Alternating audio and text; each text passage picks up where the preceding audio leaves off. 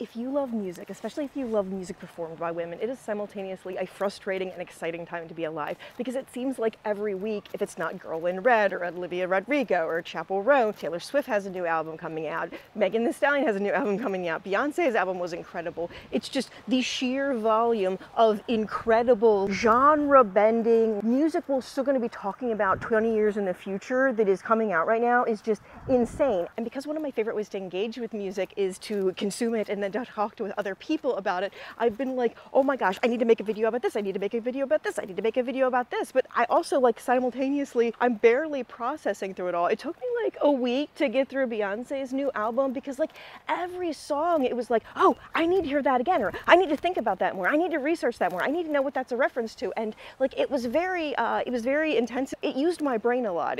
there was a lot of brain usage going on. I had to take each song and process each song as an individual. And then once I had processed each song as an individual, I had to listen to the entire album again. And then I felt like by the time everybody, by the time I'd finally listened to that album, I'm like, okay, I guess everybody's moved on to talking to other, talking about other things. Chappell Roan, though, I absolutely have to talk about because Chappell Roan's performance at Coachella caused Rolling Stone to say real music is back. Like, I think that's a big thing, especially from them. I also want to be clear to say that I don't think that Chappell Roan is the only real music that's back. I think all of these female performers that are like killing it right now are really just doing groundbreaking things for music overall. So why then is the title of this video probably something like that I have complicated feelings or like why I have a hard time or like why I can't interface with this or things like that. Um, because with Chappell Roan, there isn't this additional level. Like A, her music is so good that I have to listen to it over and over again. And what was that lyric? What is this a reference to? I need to consume it a couple of times so that I can fully process it and I need to talk to other people about it and then I can move on to another song. But then there's also this level that I did not think I had so much unresolved trauma about my orientation as I do. Almost every song actually on Chappell Roan's album has been an experience in crying, screaming, throwing up, um, literally and figuratively. So I definitely feel like there's an element of what uh, I want to listen to the album when I'm alone, when nobody else is at home, because I know that I'm going to have an intense emotional experience to it. And then like when I really sat through and I was like analyzing like why am I having an intense emotional experience this like Good Luck Babe, especially. We're going to discuss that first. I know it's not technically part of the album, but I have to discuss that because it's on the forefront of my brain, so I apologize. Good Luck Babe could have been me right now talking to myself back when I was in my early 20s. So if you're not familiar with me, if you don't know much about me, up until I was 25, I thought I was straight. Up until I was 38, I thought I was bi. And recently, I've realized that I'm lesbian, sapphic. I'm very intensely attracted to femininity. I've done a full video on it. I'm not going to get into the details too much here. But I guess I thought because I've been like out as bi, or at least somewhat out because as many of you know, you're never really fully out. For the most part, up until very recently, I was not out at all at work. I really tried to downplay that element of myself or if people that I was was friends with outside of work worked with me as well, it was kind of like, "Oh, I'm bi, but only in that like I want to make out with girls and have my boyfriend watch kind of way." I think because my experience involves so much denial and I think because my experience involves so much trying to suppress that aspect of myself to stay safe and to protect myself in the career field that I had chosen, I really had not allowed myself to interface with the art that much. I hadn't had a lot of emotional experiences that I think other people had in their teens.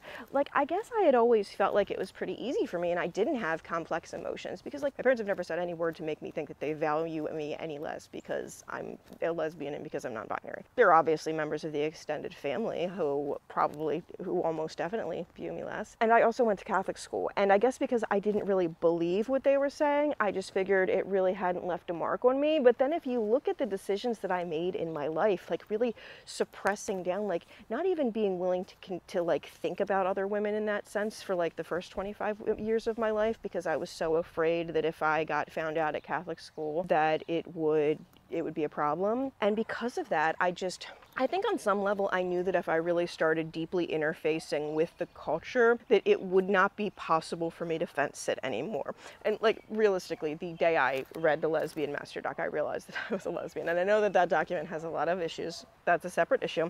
But because of that, Good Luck Babe is just such an intense experience for me because it feels like both me now and me then are engaged in the song. I know that this is hypothetically a song between lovers, but the way my brain interprets it. I mean, I obviously think pretty soon after I realized that I was bisexual, I realized that my preference was pretty strongly towards women, but I also realized that my life would be easier, or at least I thought my life would be easier, if I engaged more with women. But like I said, as soon as I read the Lesbian Master Doc, I realized that the reason I thought my attraction to men was stronger is because I desperately wanted male validation. And once I had kind of like separated those feelings, I was like, you know, a lot of the times that like I didn't feel like I was an active participant in certain things because my mind was elsewhere. I'm trying to keep this vague because I don't want the video to suffer in certain aspects. Especially, I think, because of TikTok and the TikTok effect and the fact that the chorus,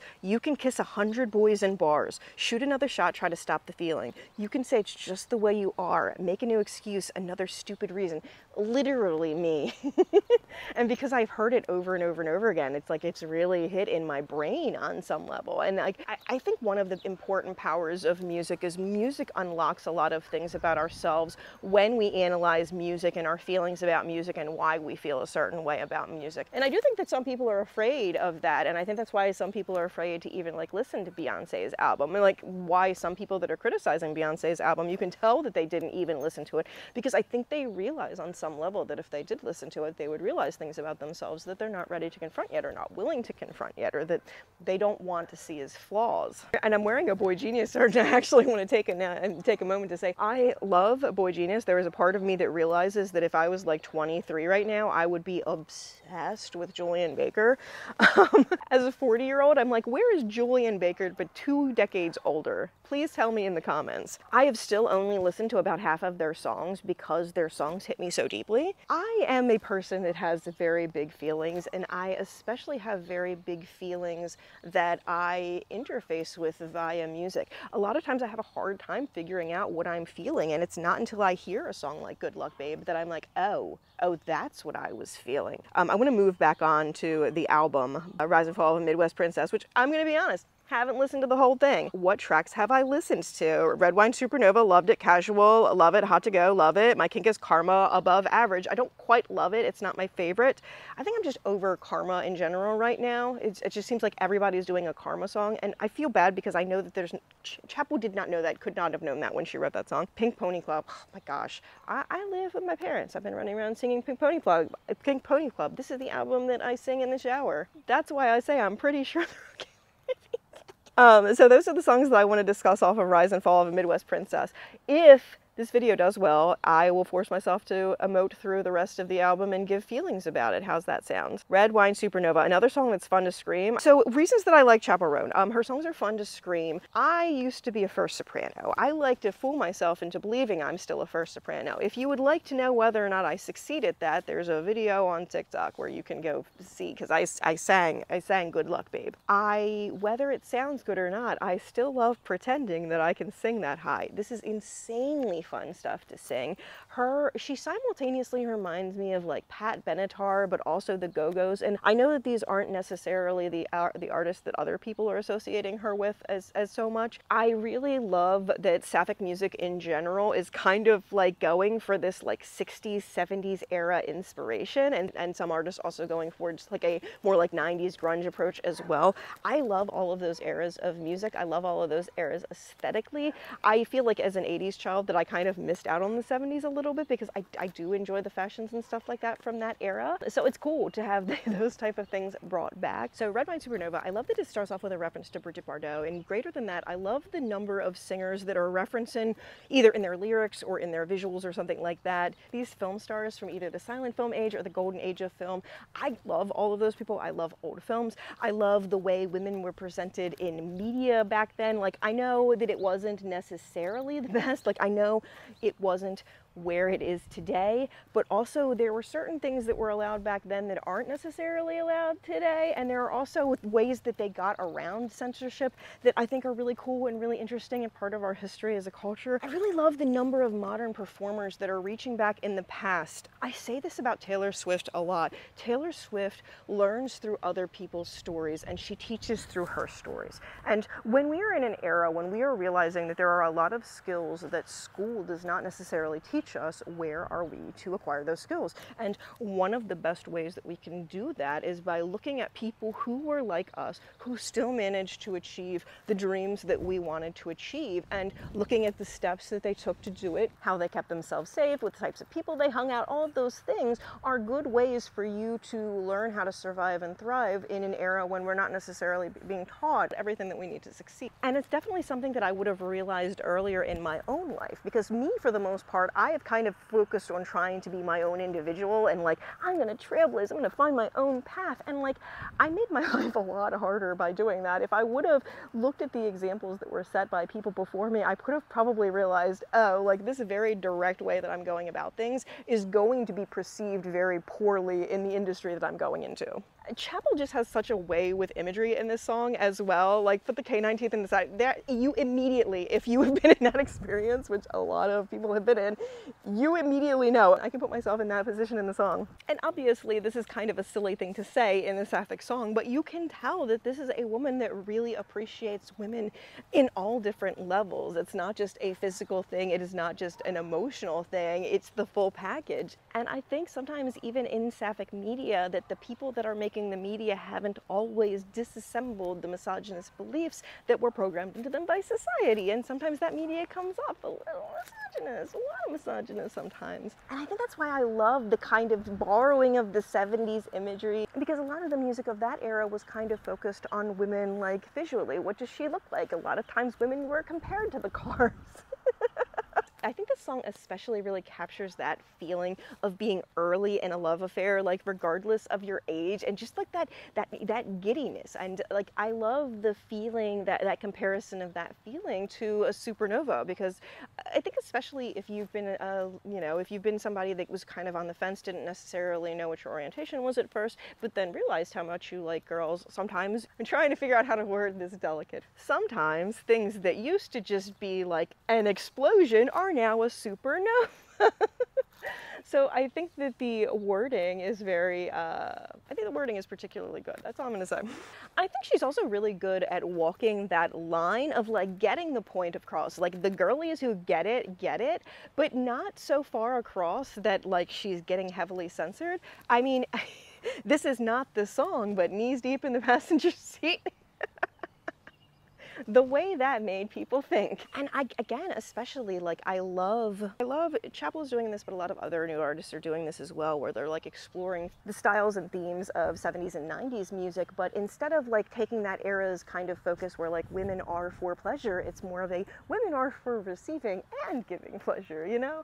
And I love that it's kind of, it feels more well-rounded. It feels more full circle. It's almost like, oh, this, this, this suddenly feels more complete because the element that was missing before is suddenly there, you know? A good line for this song about the like censorship is the I've got a wand and a rabbit line. The number of people who did not get that line kind of concerned me. Actually, to take it back a line, the back at my house I got a California King. Okay, maybe it's a twin bed and some roommates. I thought that was in some mermaids. Equally plausible, I think, given the Sapphic community.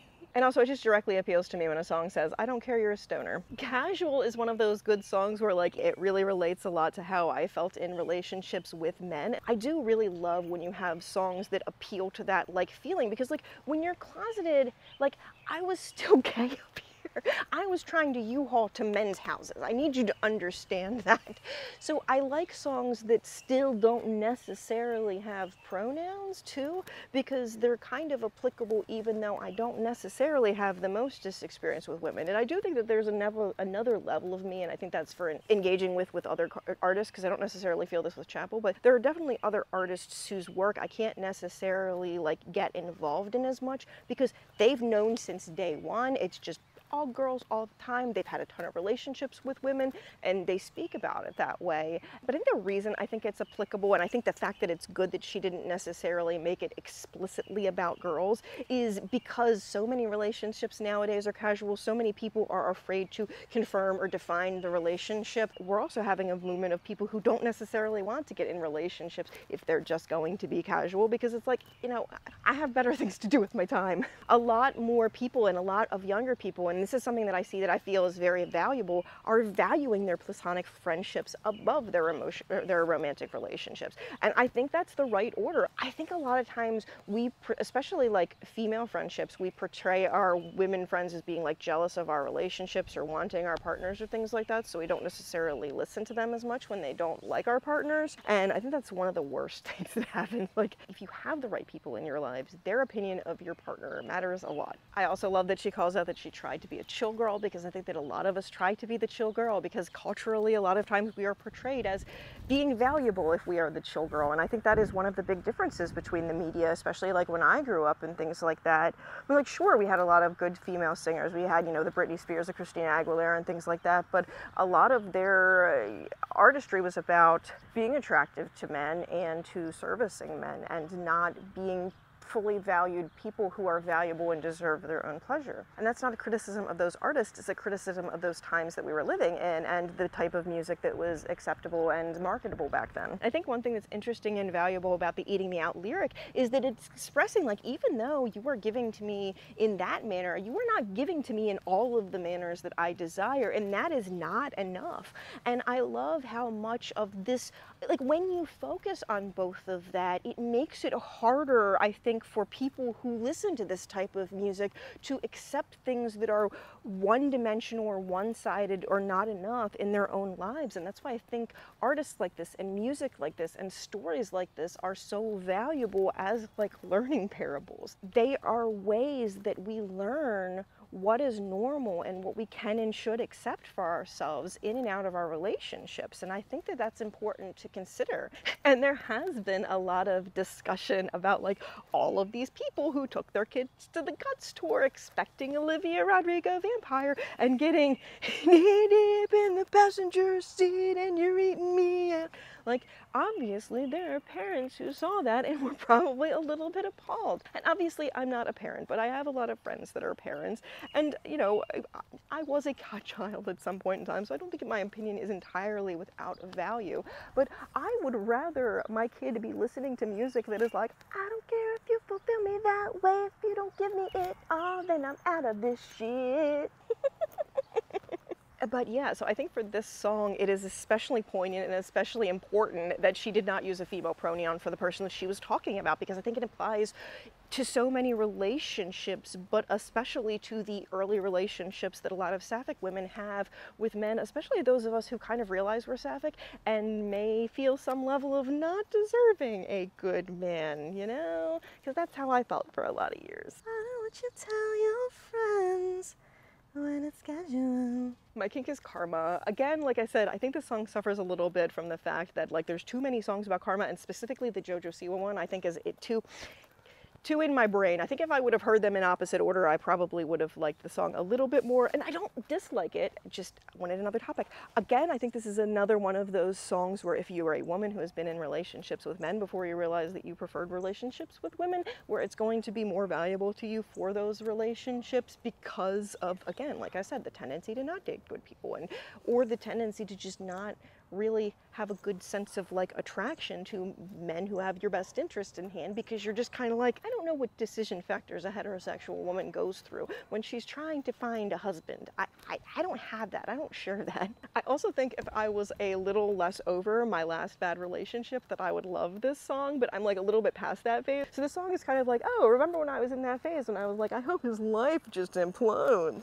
Um, I will say again that this is a good song that uses the right imagery to just put you in the right mindset. Like the you're dyeing your hair. Like we all know when you get out of a relationship and you're dyeing your hair, the emotional state that we're in. And I think that's why I love this new era of like singer-songwriters that we have is just because so many of them are really good at using the right imagery and painting this beautiful picture both sonically and in our minds of like where you're at at physically, emotionally, etc. when you're feeling these things. Hot to go. I saw somebody call Hot to Go um, YMCA for gay people, and I'm like, um, I think you may want to research uh, YMCA a little bit better. I, I love that we're getting another song that has like a hand motion thing because why only YMCA? Brilliant, brilliant, brilliant, brilliant. Uh, one of the best decisions that she made. It is such a catchy song. It is so fun to sing. It gets the point across. Again, she's really good at riding that line of being like, this, you know exactly what I'm saying, but I'm saying it in a way that's not going to get me censored. And like, there is that problem where a lot of times uh, pleasure that is centered on the woman is more centered than pleasure that is centered on the man. Again, it's another song where I'm really glad that she didn't use a pronoun because it applies to so many different people in so many different scenarios. And I think that that makes the reach of the song a little bit better. And like, obviously as a sapphic i want to big I, I, want to have a lot of songs that have female pronouns or like they them pronouns or what have you. But as a non-binary person i do like songs that don't necessarily have pronouns that you can fill in your own. And as somebody who has dated people of multiple genders i also like to be able to fill in the blanks about who i'm talking about you know H O T T O G O. You can go. Pink Pony Club. Oh my gosh. I think for a lot of LGBTQ people, one of the first places that we feel safe and feel ourselves and feel like we can like actually just be who we are is, you know, a place where they dance with literally no clothes on. And I think that part of that is a byproduct of like anything that is LGBTQ being seen as like adult and oh my god, it's not not appropriate for the children. So like kind of feeling like all of that love is sandwiched into those spaces. Um, but also like because that has, uh, there have been so many spaces that were safe for us in the, the nightclub entertainment setting. And because that is just such an important part of our cultural heritage. And I think in the push for so many LGBTQ people to be more accepted by heterosexuals, there has been a lot of like, oh, we need to censor ourselves. We need to be like, have our own level of purity politics. Like we can act like that at Pride. That is our like one time a year where we can act like that. And if you're acting like that outside of that kind of a setting, you are wrong and bad and no. And I love that especially artists like Chappell are really trying to bring that back together and really reunite us with the fact. Drag cultures, SWs, BDSM culture, a lot of those things are inseparable from our community and are parts of our community and trying to shave them off just to get more appeal by the like, you know, greater heteronormativity is only going to hurt us as a community, right? Because we will never make ourselves acceptable enough. There is always going to be a scenario that it comes down to where something that we do is unacceptable to those people that have like a specific mindset or ideal that we have to follow to be accepted. It is not us that need to fit into that mold, it is them that need to break that mold. I love how much of her merch and how much imagery and stuff like this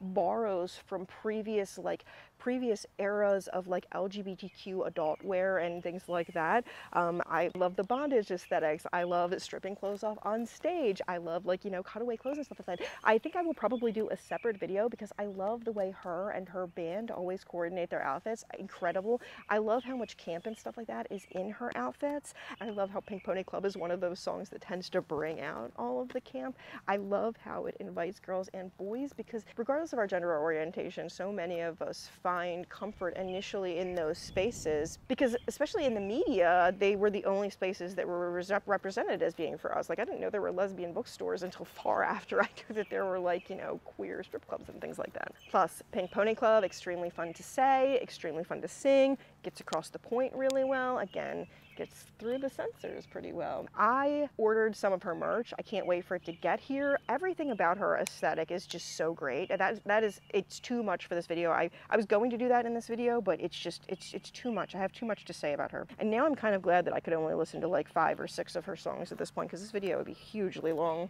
If you have stayed this long, you probably care about my channel. Um, I haven't posted in a while, in part, um, because the music that I have been listening to has been exposing me to the fact that there is a lot of trauma in my life that I didn't have fully resolved. And I think a lot of times trying to make content about things that I still have trauma regarding is very hard for me. And I've really been trying to heal that part of me so I can make the content that actually matters to me. I have several videos filmed that are going through editing right now. More content that's just like a celebration of women, especially sapphic women and things like that. More content that's just a celebration of things that I've learned through other people's stories. I think that is such an important concept and something that we don't discuss enough. So if any of that stuff interests you, please do be sure to like, comment, and subscribe. I am a very tiny channel, still under 2,000 subscribers, and it helps me a ton.